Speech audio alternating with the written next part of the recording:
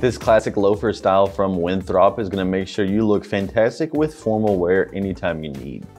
It has a textured leather upper with mock toe stitch detailing using a plain vamp for a more sophisticated look.